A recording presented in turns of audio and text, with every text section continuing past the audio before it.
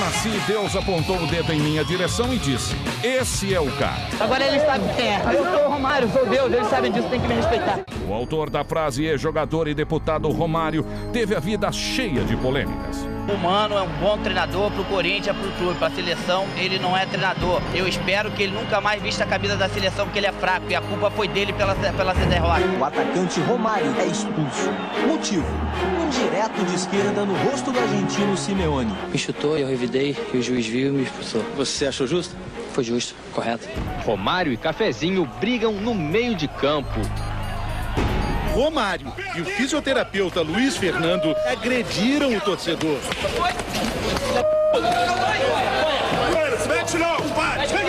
Cadê ele? Liga pra aqui, porra! Vai querer esculachar aqui na minha casa, meu irmão!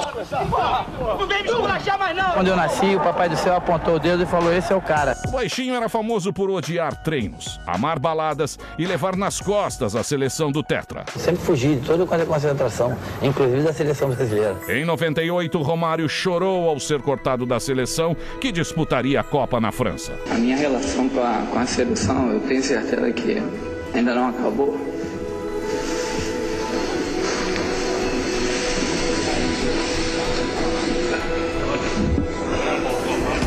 Após marcar duvidosos mil gols e pendurar as chuteiras, o baixinho partiu para a política, onde passou a colecionar inimigos. Entre os seus desafetos estão o presidente da CBF e o rei Pelé, a quem acusa de só dizer besteiras. Tinha prometido nunca mais falar do Pelé. Porque o Pelé fala tanta cada dia. Eu, você lembra uma frase que eu falei que o Pelé calado é um poeta? E isso serve de novo. E ele tem que entender que eu não guardo maguinha de ninguém, que isso é coisa de babaca. O Pelé tinha que se candidatar a ser deputado para ver se ser eleito, para ele poder falar. Ele não conhece de regra, ele não conhece de estatuto, ele não conhece de nenhuma para falar o que tá falando. E outra coisa, eu não levo nenhum da CBF não, hein? Talvez ele leve, deve ser por isso. E agora, quais serão as novas revelações do Baixinho? Sabrina Sato conseguiu uma exclusiva com o polêmico parlamentar. Acompanhe. Gente, vou perguntar tudo pra ele, do passado e da atualidade. CBF, Brasília, futebol, mulheres, Copa do Mundo, sobre os atuais jogadores, uma entrevista exclusiva. Você é fã do Romário jogador? Não, gosto dele não. Você gosta do Romário? Gosto. Ah, tem sido um bom deputado. Eu acho que ele é eficiente. Você não gosta?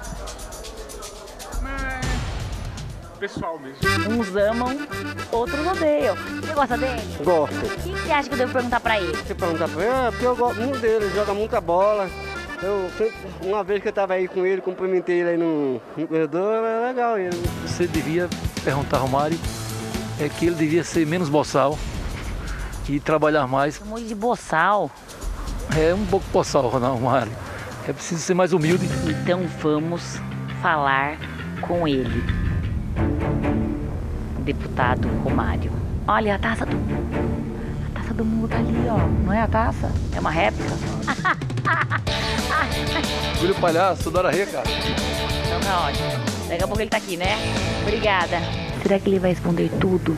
Se ele realmente foi de encontro àquilo que ele esperava quando ele se candidatou. Deputado Romário. Eu acho que eu nunca imaginei na minha vida que um dia você estaria aqui, ó, de gravata, terno, todo formal. Você imaginava isso na sua vida? Não, Sabrina. Se você perguntar o Neymar, o Kaká, perguntar o Ronaldo, todos que jogam hoje, eles também não têm que ter essa ideia. Essa ideia quem tem que ter sou eu hoje. Tenho a minha obrigação de fiscalizar o que é ruim pro país. Você acha que ele é tão bom deputado quanto ele era jogador?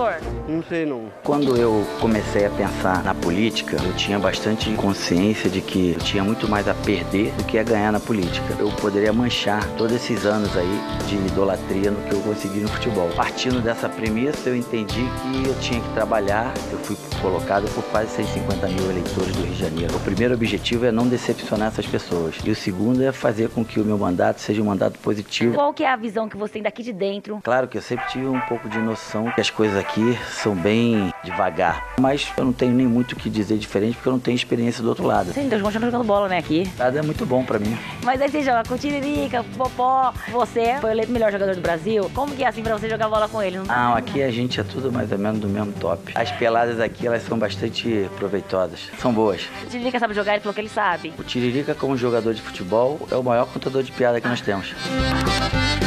É bom que ele dá porrada também. mas não tem time certo. Eu comecei a jogar no Olaria, que é um time pequeno lá. Joguei no Flamengo, no Vasco, no Fluminense e no América. Eu sou americano desde criança, porque as primeiras que eu fui ver um jogo de futebol foi com meu pai ver o América. Isso é muito família, né, Romário? Infelizmente, pela minha profissão, que era jogar futebol, era muito treinamento, viagem, jogo. Eu nunca fui assim um pai muito presente. E agora com a política, também não. Dos três filhos são quatro mães. Das quatro mães, três ex-esposas. Mas eu me considero um bom pai, bom irmão, bom filho. No momento agora eu não tô casado, tô solteiro, tranquilo, devagar. A idade vai chegando nessa Sabrina, sabe? Você foi um cara que aproveitou bastante em função de namorar, beijar na boca. Por isso que eu sou solteiro. Acho que foi você que lançou essas coisas de Maria Chuteiras, né? Esse termo aí. Foi você que lançou, porque era muita mulher. Essas duas áreas eu sempre atuei muito bem. O que você fazia na sua época? Na minha época eu pegava quem achava que tinha que pegar. Não pode nem ter relacionamento com a mulher no noite anterior. Eu sempre fiz muito bem feito e fazia bastante gol. Eu não tenho nada contra isso. Como que você fazia pra fugir das concentrações? Não fugia não, nunca, eu sempre saí pela frente, andando normal. Se ninguém mandava eu parar, eu continuava. Algumas vezes o cara, ô, ô, aí eu voltava. O que, que você mais sente saudade dessa época de jogador de futebol? O futebol de hoje do Brasil, é, assim, tecnicamente falando, é bem inferior ao alguns anos atrás. Isso é que eu sinto saudade. O que, que você mais detestava quando você era jogador? Acordar cedo, fazer negócio de correr pra lá e pra cá. O que você acha que eu devo perguntar pra ele? Se ele conseguiu fazer a luta que ele assumiu com, com as crianças de síndrome de Down, se ele tá tendo apoio do governo federal nessa luta. Temos no mundo hoje 8 mil tipos de doenças raras. O que são essas doenças raras? Pode ser genética, muscular, raramente tem cura e você não vê frequentemente. e a gente tenta dar a essas pessoas o direito que elas merecem. Eu acho que ele tem informações e essas informações elas devem ser levadas a público. Eu sempre falei quando não podia. Imagina agora que eu posso. Falo mesmo. Para ele continuar investigando a CBF. Antes tinha o Ricardo Teixeira, né, da sua administração, e entrou esse novo agora, que é o José Maria Marinho. O futebol é um muito ruim.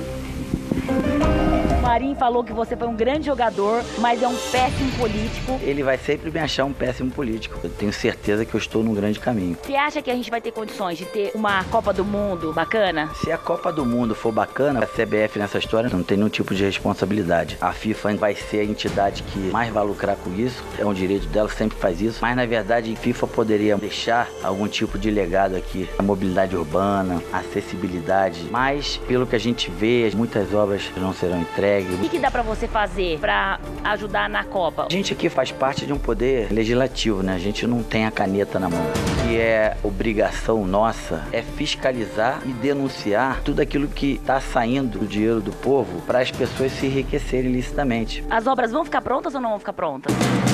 Estádio, todos vão. 70%, não 100%. Você acha que tem condição de a gente ter nosso Hexa? Condição tem. Depois que assumiu o Filipão e o Barreira, do que no treinador anterior, passa para os jogadores segurança, credibilidade e muito respeito. A gente, como brasileiro, eu como ex-jogador, eu vamos torcer para o Brasil conseguir esse título. A declaração do Pelé, que ele falou que pro Brasil ser campeão tinha que colocar a base do Corinthians lá. O que, que você acha? A gente só dá ressonância no que ele fala porque é o Pelé, né?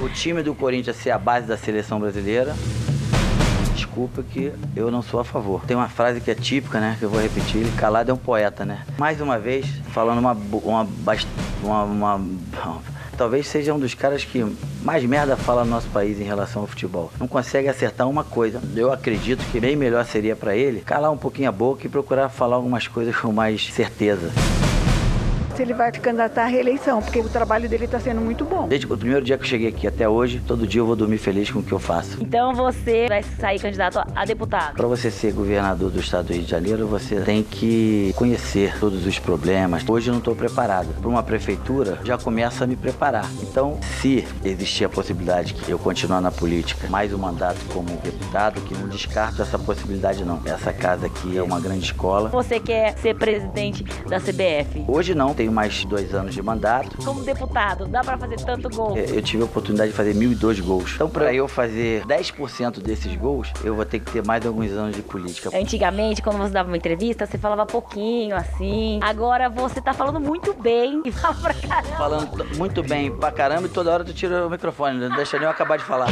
Já reparei esse detalhe também, mas tudo bem. Queria que você deixasse um recado agora pra todo mundo que tá te assistindo. Eu tô aqui numa luta que não é fácil. A partir do momento que eu tenha a disposição, quando eu tenho tenho e a ajuda de muitos colegas aqui, como tem acontecido, a gente vai caminhando devagarinho, passo a passo e conseguindo coisas que talvez alguns lá atrás tentaram e não conseguiram. Aê, Romário!